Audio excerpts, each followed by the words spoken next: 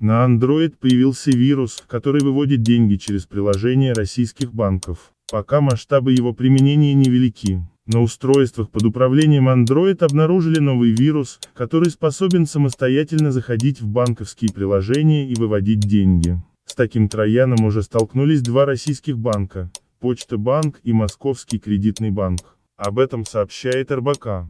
По словам представителей пострадавших банков, масштабы применения вируса пока крайне малы. Кроме того, банки могут отслеживать заражение смартфонов клиентов и при необходимости предупреждать о подозрении на проведение подозрительных операций.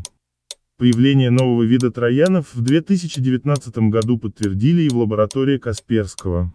Антивирусный эксперт компании Виктор Чебышев отметил, что случаи, когда вирус управлял банковским приложением, заставляя его провести платеж, пока единичны.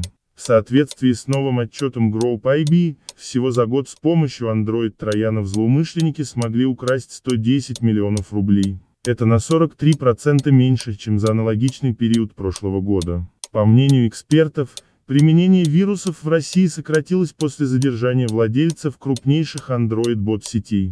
Хотим напомнить вам и обезопасить вас, и рассказать, как вирусы попадают на смартфон или планшет. Мошенники маскируют вирусы под безобидные приложения и файлы, браузеры, плееры, игры, навигаторы, книги, антивирусы.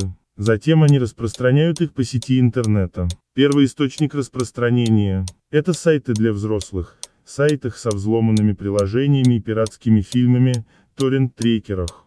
Например, ищите в интернете какую-нибудь игру или программу, и попадаете на форум. Кто-то оставил нужную ссылку, и все люди дружно его благодарят. На самом деле форум и комментаторы не настоящие.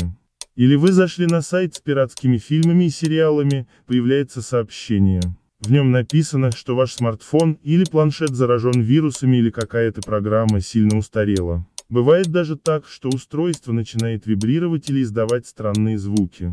На самом деле это не так, и с вашим устройством все в порядке, и переходить по предложенной вам ссылке, лучше не стоит. Второй источник распространения это по СМС-сообщениям, ММС-сообщениям и электронной почте. Как правило, это СМС-сообщения от девушек с сайтов знакомств, с сайтов бесплатных объявлений, письма от нотариусов из Германии, сообщения о выигрыше в лотерею. Будьте предельно осторожны, чудес не бывает. В большинстве случаев это мошенники.